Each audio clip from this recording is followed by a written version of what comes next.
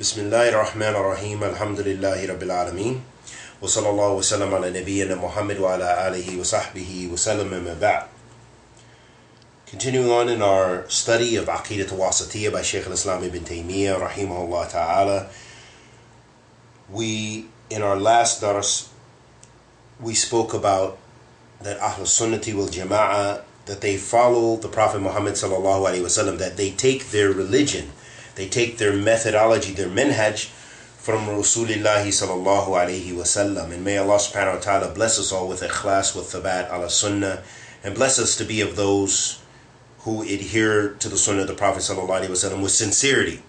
Because as we have come across in our studies how the Salaf were, the Salaf of this ummah, that they adhere to the Quran and the Sunnah of the Prophet sallallahu alaihi wasallam and the statements of the Sahaba radiallahu ta'ala. And they avoided newly invented manners. Newly invented matters.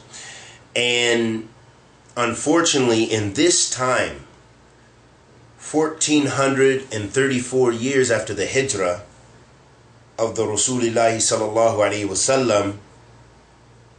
we find individuals who've studied in the places where the Quran and the Sunnah of the Prophet ﷺ is studied and pondered upon and reflected upon, but yet when they come out of these institutions, they don't propagate what they've learned. And the Salaf were adamant and firm on practicing what they learned, practicing the Sharia, practicing the sunnah of the Prophet ﷺ and the minhaj and methodology of the Salaf. So nowadays you find individuals who say, I am no longer Salafi, or I am no longer from Ahl Sunnah, or I'm no longer this, or I'm no longer that. But it shows you in contradiction to the Sabil Mu'mineen, to the path of the believers, that a lot of these individuals flip flop that one minute you'll find an individual who is on the outward appearance seeming to adhere to the statements of the scholars, and this time the statements of the scholars of Ahl Sunnati wal Jama'ah, and mentioning the athar of the Salaf Salih radiallahu ta'ala and taking the view of the Sahaba in Aqidah and in their fiqh and in their understanding of the religion and then the next moment you find that they're Rafida Shia. The next moment you find that they've joined Ikhwan Muslimin. And then after that you see they've turned into a takfiri. Or they go with Jamaat Tabligh. Or any of the other various sects and groups.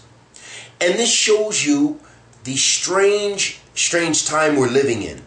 And this is why the Prophet Muhammad sallallahu alaihi wasallam said, "Alaykum bi sunnati وسنة الخلفاء الراشدين المهديين عذوا عليها بالنوادج وإياكم ومحتثر الأمور فإن كل بدعة ضلالة He said عليكم بسنتي and this was the ilaj this was the medicine this was the treatment for this illness of moving away from the sunnah to Rasul sallallahu alayhi wasallam and moving away from the understanding of the sahaba to Rasul sallallahu alayhi wasallam radiyallahu ta'ala ajma'in that he said alaykum it's upon you, my sunnah, and the sunnah of the rightly guided uh. And who are the rightly guided Khalifate? Abu Bakr, or Umar, or Uthman, wa Ali, radiallahu ta'ala ajma'in. So it's upon us the sunnah of the Messenger of Allah sallallahu alayhi wa and the sunnah of the Sahaba, radiallahu ta'ala ajma'in.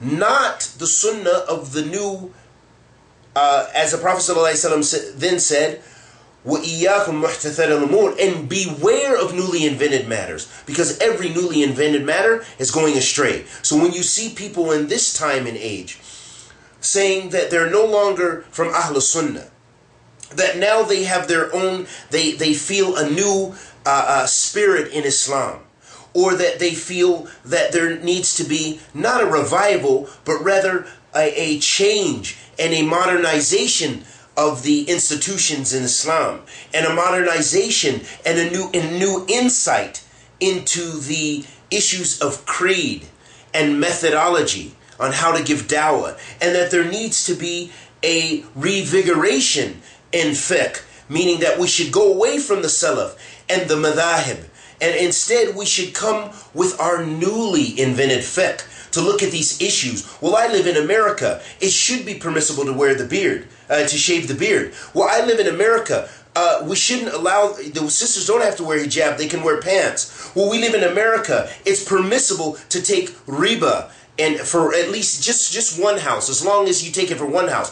All of this is batil. This has no uh, foundation in the Sharia in Allah subhanahu wa ta'ala's deen, and that's what we have to remember. So Ahl Sunnah, they follow who? They follow the Prophet Muhammad sallallahu alayhi wasallam. Qala Shaykh al-Islam ibn Taymiyyah, as we mentioned in the last dars, he said this also forms part of the ways of Ahl Sunnah wal Jama'ah, that they follow the athar of the Salaf, uh, uh, of the Prophet sallallahu alayhi wasallam in both manifest and inward sense and adopt the path of those who became the first believers of the Muhajirin and the Ansar and obey the will of the Prophet sallallahu alaihi wasallam when he said, "Alaykum bi sunnati wa sunnatu wa sunnati khulafai ar-rashidin al-mahdiyin min ba'di."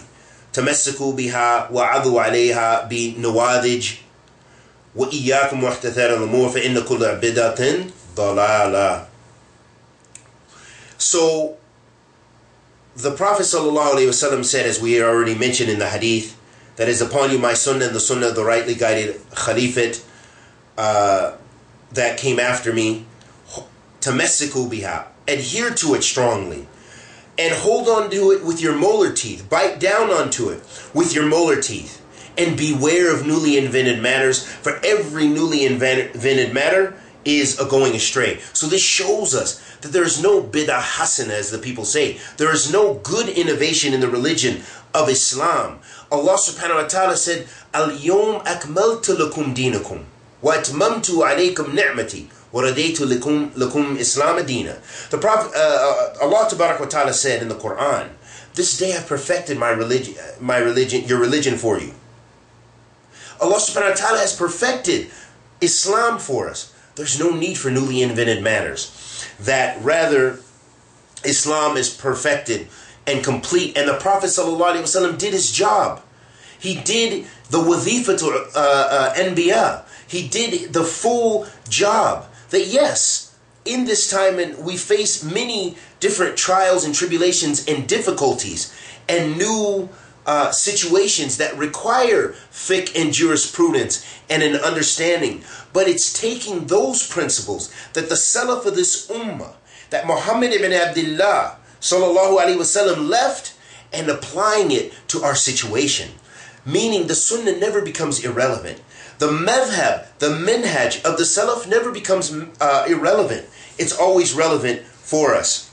And we uh, so Sheikh al-Islam, he then said, after mentioning the hadith of the Prophet ﷺ, he said, Ahl Sunnah know that the most truthful statement is the statement of Allah, and the best way of life is that of Muhammad ﷺ. They give preference to the statement of Allah over all kinds of statements other than him. They give uh, preference to the guidance of Muhammad wasallam over the guidance of everyone else, and that is the reason why they are called Ahli Kitabi wa Sunnah. That's why they're called Ahli Kitabi wa Sunnah because they hold on to the Quran and they hold on to the Sunnah of the Prophet wasallam, and we understand that we face new challenges and that we have. Uh, our youth are going astray. Our youth in, are infected by various, uh, various forms of onslaught of different ways of conquering their minds and hearts. There is a con- concerted effort to corrupt the youth, not just the youth of Islam, but the youth around the world through music, through devil worship, through adultery and fornication, and all of those things to lead us astray by our desires. All of those things which appeal to our desires, they are made beautiful. They're, they've been beautified for us by the shaitan and the shayateen amongst the jinn and the ins, meaning the shayateen, the devils amongst mankind in the jinn. It's been beautified us for us. And Allah subhanahu wa ta'ala says, Zuyina, zuyina lillas hubba shahwat min nisa. Allah subhanahu wa ta'ala says in the Quran that it has been beautified for you. Zuyina linnas. It's been beautified for the people. The love of their desires for the women. And the Prophet ﷺ said in this regard, "Ad-dunya sijnu mu'min wa jannatul kafir." That this this life is the prison of the believer, and it is the uh, sijnu mu'min wa jannatul kafir, and it's the paradise for the disbeliever. And the Prophet ﷺ said in another authentic hadith, collected in Sahih Muslim, he said, Sallallahu Alaihi Wasallam, Inna Allah, uh, uh, the Prophet ﷺ said, Inna Allah mustakhlifukum fil ard. فينظروا كيف تعملون أو كما قال النبي صلى الله عليه وسلم فينظروا كيف تعملون فتقوا الدنيا فتقوا النساء فإن أول فتنة بني إسرائيل كان في النساء The Prophet صلى الله عليه وسلم said that verily Allah has established the Prophet ﷺ said in the dunya halawata khadra that this life is a beautiful it's like a beautiful garden this worldly life is like a beautiful garden or uh, uh, halawata khadra it's like a beautiful garden or maybe a beautiful fruit or a so it's it's beautified for us and verily, Allah establishes you, establishes you on the earth. And He looks to see what you will do. So fear the dunya, fear the trappings of this world, your the wealth, the deception of the uh, uh, false beautification, meaning women have to change their bodies to meet the expectations. They have to uh, not eat. They have to uh, get liposuction, cut off layers of fat. They have to do their hair a certain way. They have to put cake makeup, cakes of makeup to change and disfigure themselves, to beautify themselves to fit the criterion that the shaitan has laid for you. The shaitan is laid because Allah subhanahu wa ta'ala has created us in various beautiful images. And He loves, He looks to what our hearts, what is in our hearts. He doesn't care. Inna Allah la yandru ila adsadikum وَلَكِنْ يَنْظُرُ قُلُوبُكُمْ وَأَعْمَالَكُمْ But Allah doesn't look to your shapes, but He looks to your deeds and your heart. That's another hadith of the Prophet ﷺ letting us know to be cautious of this dunya. But going back to the hadith we were we were mentioning, the Prophet ﷺ said, فَتَقُوا الدُّنْيَا وَتَقُوا النِّسَاء So fear this life. And fear the women. For verily the first fitna, or trial that befell the children of Israel was women. Meaning they were tested with women, with their desires for loving women, being corrupted, chasing by any means their desires. And this is incredibly dangerous fitna that we face daily. And how many of the people who've called to Allah subhanahu wa ta'ala have went astray? We see one minute they're on the pulpit urging and exhorting the people to fear Allah subhanahu wa ta'ala. But in the depths of the night, or possibly in the day, they're doing other than what they preach. And Allah subhanahu wa ta'ala says, Ya ayyuhalladhina amanu lima taf'alu Ya ayyuhalladhina amanu lima taf'alu ma lima lima yuquluna ma la taf'alun so Allah subhanahu wa ta'ala says in Surah Al-Saf, He says Tabarak wa ta'ala, O you who believe, why do you say that which you do not do? And there's so many ahadith also mentioning this and other verses in the Quran mentioning the danger of not practicing what you preach. How many callers have we found out that in they were calling to the sunnah outwardly, but but with their companions they were only calling to hizbiyah. They were only calling to join them, to join their friends, to join their clique, to join the group that they call the people who are rightly guided. Instead of calling the Kitabillah wa Rasul sallallahu alayhi wasallam and the madhab of the Salaf of this ummah, they called to their clique. And on top of that, they didn't practice what they preached. They they uh, immerse themselves with people who are wicked people, the people who deal drugs, the people who kill people. They commit zina regularly. They do all this fahisha. And they do this in the name of Islam. This is an incredibly danger trait, dangerous trait that we must beware. And we must come back to what? كتاب الله وسنة الرسول صلى الله عليه وسلم. قال الشيخ الإسلام ابن تيمية رحمه الله تعالى in the last chapter, he said, Ahl Sunnah follow the commanding principles of the Sharia, doing what is recognized and refusing to do what is prohibited. Meaning, they command Amr bi Maruf and Nahi al Munkar. Kama qala Nabi sallallahu alayhi wasallam. They command the good and they forbid the e- evil. The Prophet sallallahu alayhi wasallam said in a hadith in Sahih Muslim, the hadith of Abi Sa'id al-Khudri radiallahu ta'ala anhu قال سمعت رسول الله صلى الله عليه وسلم يقول من رأى منكم منكرا فليغيره بيده فإن لم يستطع فبلسانه فإن لم يستطع فبقلبه وذلك عرف الإيمان The Prophet ﷺ said, Whoever amongst you sees a good, sees an evil, then change it with his hand. If he's unable to do so, then change it with his tongue, meaning speak out against it. If he's unable to do so, then he should do so with his heart, meaning hating, hating it. And that is the weakest form of faith. And that shows us again, brothers and sisters in Islam, that Iman has different levels, or Iman has different components. Iman to Ahl Sunnati wal Jama'ah, as we mentioned in the previous lectures, that Iman is comprised of statements of the tongue, the Shahada, uh, speaking a good word, and so forth, uh, making dhikr on your tongue. Iman is also comprised of deeds that you do. For example, removing a harm from the road, as the Prophet ﷺ said, or uh, commanding the good and forbidding the evil, doing that by cha- by the hand. If you see someone that you have the control and the ability to stop from doing evil, and you do so, then you'll be rewarded from that. As long as there is more, there is a greater benefit in doing that than there is harm. Meaning you are able to do so. And that's why the Prophet ﷺ said, من رأى منكم منكرا فليغيره بيده فَإِن لَمْ يَسْتَطِعْ So if he is unable to do so, then he should do so with his tongue. So letting us know that those are all maratib or parts and components of iman.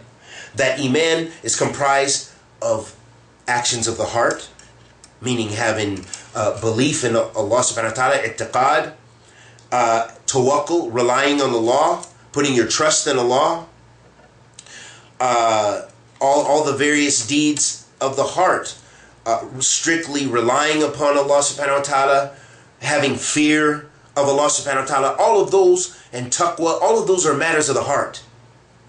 And then, so that comprises all those three levels of Iman. And that's what we gain from that hadith and as Shaykh al-Islam was saying, that that is a characteristic of Ahl Sunnati wal Jama'ah, is they command the good and they forbid the evil. Meaning if you see those people who say they're Salafi, or they say they're from Ahl Sunnah, or they say they're from Ahl Hadith, or they say they're from Ahl Athar, but they're not commanding the good, and they're not forbidding the evil, then it shows that they have a weakness in their Iman. That doesn't mean they're totally off the Sunnah, no. Or that they're outside of the fold of Islam, no. But it means their Iman is weak, and their Tamesik bi sunnah is weak. Their adherence to the sunnah of the Prophet ﷺ is weak. Because there are some people, they have correct aqidah, but their manners are evil. And they're, they're, they, they, they speak ill, they make ghiba, they curse people, they lie and slander. So there they contradict the sunnah of the Prophet ﷺ in many ways. Although they say they're from Ahl Sunnah. Although they say they're calling uh, to Kitab wa Sunnah but yet their actions are going against that. So that shows a weakness in Iman. It shows a weakness in their their tamesik, their adherence to the sunnah of the Prophet Muhammad sallallahu because the Prophet sallallahu his manners were the Quran. The Prophet sallallahu as Aisha radiallahu anha said, uh, uh, Quran. So if you want to see the the manners of the Prophet ﷺ, to see how he sallallahu was, you will look at the Quran. You will read the Quran and contemplate the Quran and practice the Quran. May Allah subhanahu wa ta'ala bless us with to be of those who practice uh, the Quran and the Sunnah of the Prophet sallallahu. And Qala Shaykh al-Islam, rahimahullah ta'ala, after that, he said, they adhere to these principles, meaning Ahl Sunnati wal Jama'ah, and believe in performing Hajj and Jihad, Jumu'ah, and Eid with the leaders, whether they are leaders are good or bad they preserve the congregation. This is very important. This contradicts the madhab of the Khawarij and the Takfiris of this day who make takfir of all the leaders and say this one's a kafir, this leader's a kafir, this one's not practicing Sharia properly, this one's doing this, and then they make takfir of them without the, the, wabit of, of takfir. So they're going against the madhab and minhaj of Ahl Sunnah wal Jama'ah. Therefore, they are not from Ahl Sunnah because they've went against one of the usul of Ahl Sunnah. That's why a takfiri, we don't say he's a takfiri sun, Sunni or takfiri uh, Salafi. No, there's no such thing. Uh, jihadi Salafi. No, no.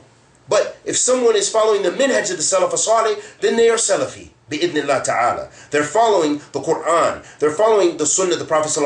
They're following the madhab of the Salaf and understanding the religion and practicing the religion and calling to the religion. Then they're from Ahl Sunnah. So this is an important part of creed is that Ahl Sunnah, they believe in praying behind the ruler, making jihad behind the ruler if he calls behind it, making hajj behind the ruler, Jumu'ah and Eid with the leaders, whether they are good or evil. And this is all throughout the books of Ahl Sunnah, you'll find this. And so many books of the Creed. Go back to Sharh Sunnah Imam Barbahari. Go back to uh, go to the books of uh, in fiqh even. Look in the Kitab Jihad in the books of fiqh on all the madhabs. Imam Abu Hanifa, Imam Malik, Imam Shafi'i, Imam ah- Ahmed, uh, Rahimahumullah Jamian. That you'll find, according to their madhab, and even Imam Ibn Hazm, Rahimahullah Ta'ala all of the Imams, the great Imams in the past and up to present. You'll find this in the books of fiqh, you'll find it in the books of Aqidah. Ahlul Sunnah, they follow the principle of exhorting the Ummah and have faith in the statement of the Prophet ﷺ. A mu'min is like an edifice, uh, edifice for another mu'min, some parts of which hold fast to the others. A mu'min, lil mu'min kal bunyan, yushiddahu ba'dahu ba'd.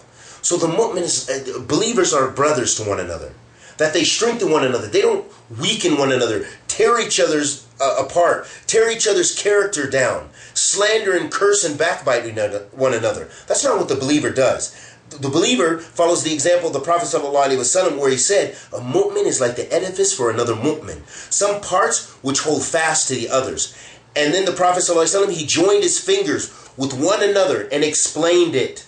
So the Prophet ﷺ, he put his fingers together, showing that this is the state, this is how the believers are. They love one another, they care for one another. Even when someone's from Ahl Bid'ah, we don't make takfir of them unless they have Bid'ah Mukaffara, and this is done from the people who have the right and have the ability to make that takfir, the knowledge, the knowledge, the scholars, the ulama, and also the qudat, the the the qudat, the the the the the judges in in the Muslim lands. They're the ones who are, who give these um, rulings, but it's not for us to, to make takfir and tabdir and tafsik of the layman, to call him a kafir, to call him a, uh, an innovator, to call him uh, a wicked sinner, unless you have the ability to do so. Unless you know the criterion for doing it, you know the shurut, the conditions for doing it, you know the mu'ana, those things will prohibit from those pers- persons leaving the fold of Islam or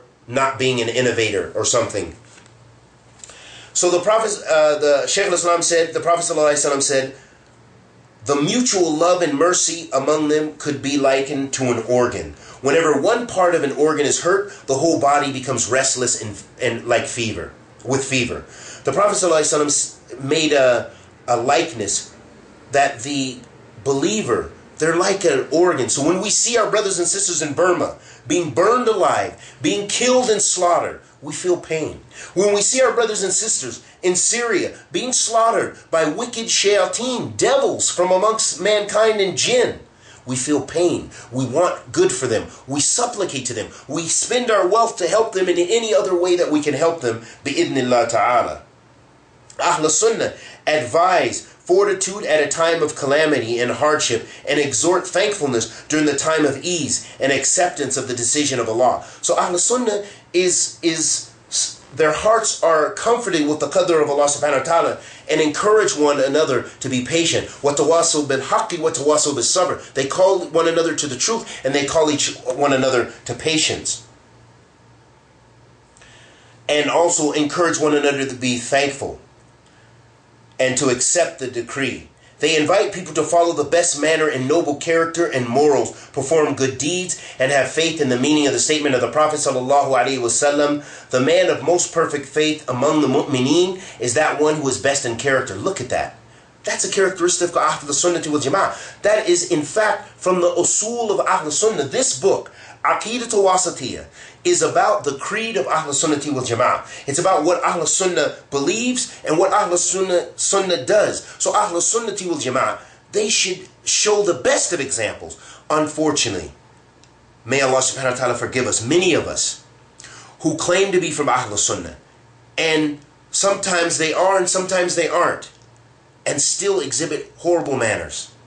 That they curse the people and they make the people run from them and run from the da'wah to Ahl Sunnah.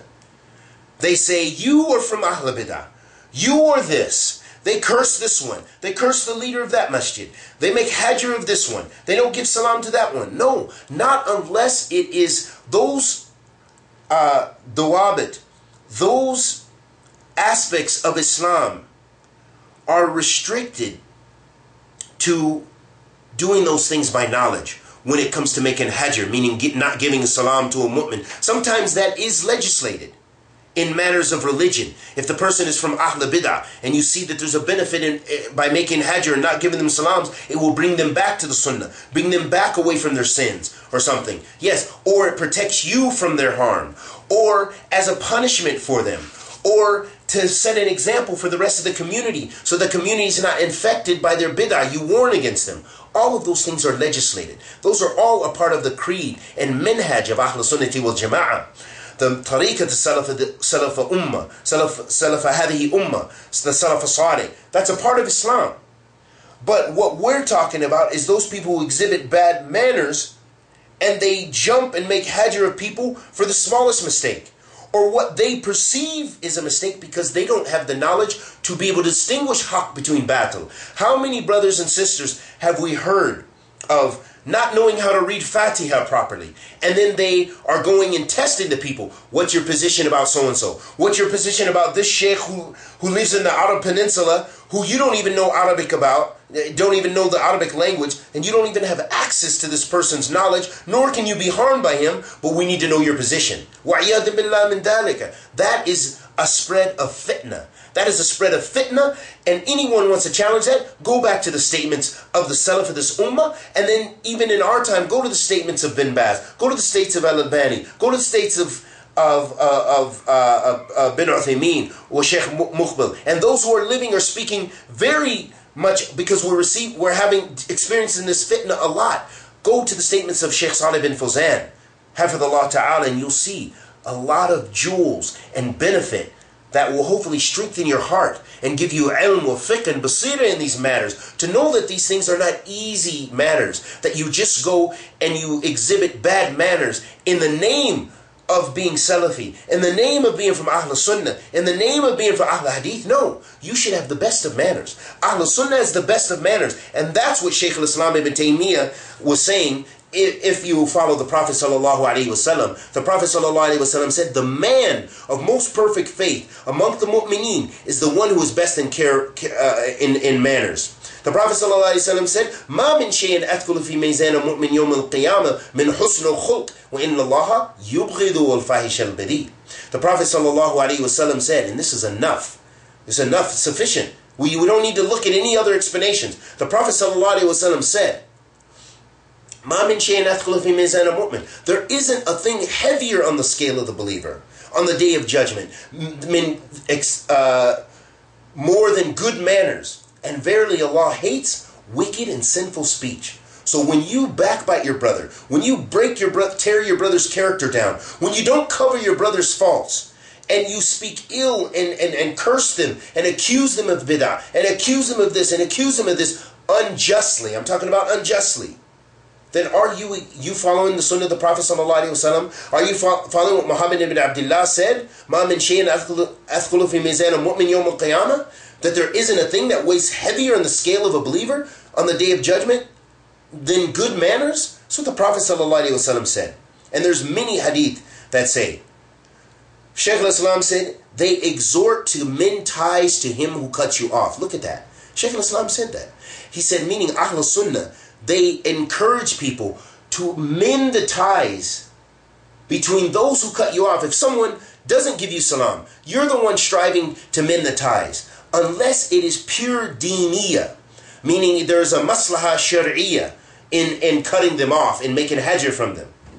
To give to him who has forbidden you, and forgive him who has done wrong to you. They order for righteous treatment with parents, keeping ties of kinship, good treatment with your neighbors, the orphans, the destitute, travelers, compassion to the slaves. They prohibit pride and conceit, and justice or uh, and just and are just, and they uh, they prohibit being unjust and torturing people. They teach high morals and check the low morals. And you know, they look when they see people are, are doing sinfulness, they check them and they try to encourage them and they try to raise the standard of morality. That's what the sunnah of the Prophet ﷺ should do for you. If you're practicing someone who's salafi sahih, haqiqi, then their example should be will raise the people. But unfortunately, uh, more often than not, we've had a lot of bad examples in our communities of certain brothers and certain sisters who maybe because they didn't have enough knowledge, maybe because they only understood some parts of the, the, the minhaj of the Salaf, but they forgot another janib of the Salaf. But no. So never be of those like this person who is supposed to be a big da'i around who says, I'm, I used to be Salafi. Never be like this individual who goes around causing fasad in the world. He's popular and he can have his popularity.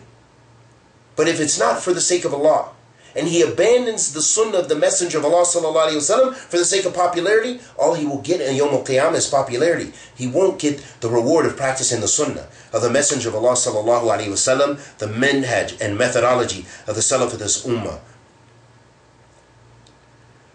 in all of these things which they profess and practice, they follow the Quran and the Hadith.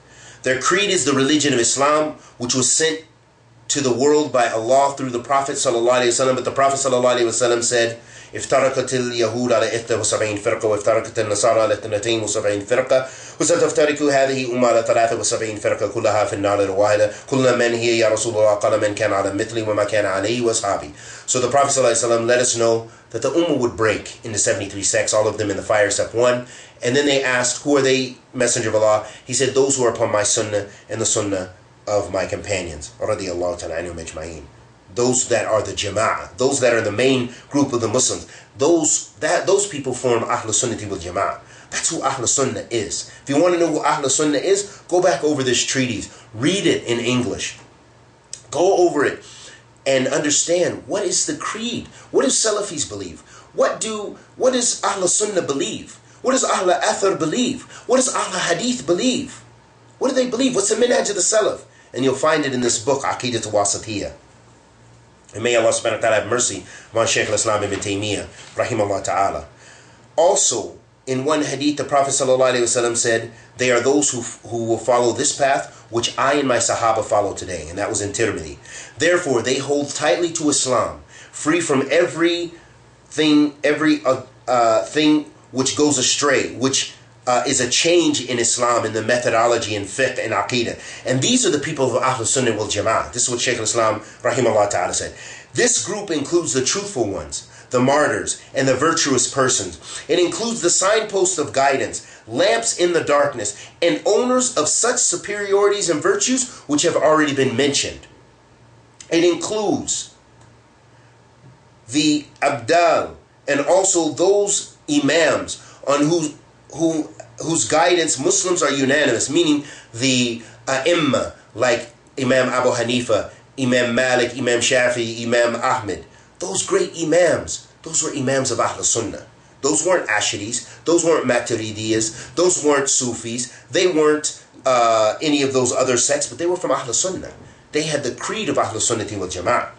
It is this successful group about which the Prophet ﷺ said, One group from my ummah will always remain dominant upon the truth. Their opponents will never be able to harm its members or afflict them upon, up till the establishment of the last hour. The Prophet ﷺ said, لا تزال طائفة من أمتي على الحق المنصورة لا يضرهم من خالفهم ولا من خذلهم حتى تقوم الساعة so the Prophet ﷺ said, One group from my ummah will always remain dominant upon the truth. Their opponents will never be able to harm its members or afflict them up to the establishment of the last hour. And we already explained this hadith in the one of the first lectures. And Shaykh al-Islam, he ended his treatise by making dua for the people who read this beautiful and beneficial treatise. And may Allah subhanahu wa ta'ala bless Shaykh al-Islam ibn Taymiyyah with Jannat al-Firdaus for what he left behind for the ummah to follow in guidance, in preserving the sunnah and reviving the sunnah of the Prophet sallallahu alaihi wasallam and refuting Ahl Bid'ah and showing an example and making jihad against Ahl Zandaka and the, the disbelievers who hated Islam and fought Islam and doing all those righteous deeds. May Allah subhanahu wa ta'ala bless him with Jannah Firdaus and have mercy upon him. We request Allah to include us also among such people and do not flinch our hearts after giving guidance and bestow his mercy upon us. He is certainly the generous and Allah is the most knowing. The mercy and blessing of Allah be upon Muhammad sallallahu alaihi wasallam and his family and his sahaba abundantly. Wa sallallahu wasallam ala Muhammad wa ala alihi wa sahbihi. Thus ends our study of the book Aqidat Wasatiyah, and we ask Allah the Almighty to accept this from us and bless it to be beneficial for us and bless us with ilm nafi wa rizqin tayyib wa amalan mutaqabbilan wa sallallahu wa sallam ala nabiyyina Muhammad wa ala alihi wa sahbihi wa sallam.